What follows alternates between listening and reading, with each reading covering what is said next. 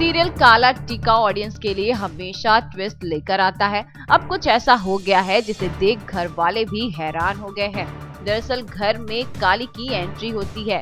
जी हाँ आप सोच रहे होंगे कि काली ने तो सुसाइड कर लिया था। पर ये देखना जितना आपके लिए शॉकिंग है, उतना ही हमारे लिए भी है। और तो और दूसरा शॉकिंग ट्विस्ट ये है कि काली के हाथ में उसका बच्चा है। अब काली का बच्चा कैसे हो गया? सब लोग मंदिर से घर पे लौटते हैं जीवा नहीं मिल रहा है एंड ऑफ़ कोर्स गौरी का बच्चा हो चुका है।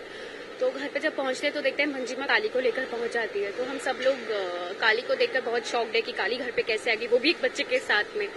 और वो और मेरी माँ ऐसा प्लॉटिंग करते हैं कि हम ऐसा डिसाइड करके जाएँगे कि तुम वहाँ के सब, सबके सामने ऐसे प्रिटेंड करना कि तुम अपनी यादाश्त खो चुकी हो और ये बच्चा तुम्हारा और युग का है। हालाँकि वो बच्चा मेरा है। जो हम में से किसी को नहीं पता, काली को भी खुद नहीं पता बट वो एक प्लान है।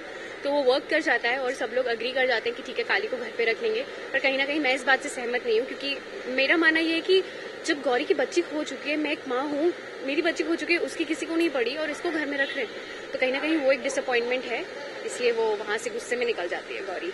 और फ्रीज हो जाता है उस पॉइंट पे कि काली अब से घर में रहेगी बच्चे के साथ। वहीं ये सब देख गौरी परेशान हो जाती है और उसे अच्छा नहीं लगता कि आखिर काली क्यों उसके और युग के ज़िंदगी में आ गई है। मेरा बच्चा तो बस खो चुका है ना किसी पे ऐसे डाउट नहीं हो रहा क्योंकि वो दो दिन का था no idea nothing so we are just worried about the child but अब जब काली बच्चे को लेकर आ गई है और सब लोगों का ध्यान अभी उस तरफ़ है पर मेरा ध्यान तो वही है कि यार मेरा बच्चा नहीं और तुम लोग इसको क्यों रख रहे हो घर में? लाइक दैट तो वही चल रहा था। आने वाला ट्विस्ट तो अभी बच्चे को लेकर ही होगा। मे बी ये भी हो सकता है कि बच्चे कर दे कुछ भी कर दे ट्विस्ट तो ज़रूर बच्चे को लेकर ही होगा। वेल well, सीरियल की कहानी ऐसे अजीबो गरीब ट्रैक से होकर गुजर रही है जिससे देख ऑडियंस भी परेशान होंगे पर क्या करें? सीरियल की कहानी तो होती ही ऐसी है।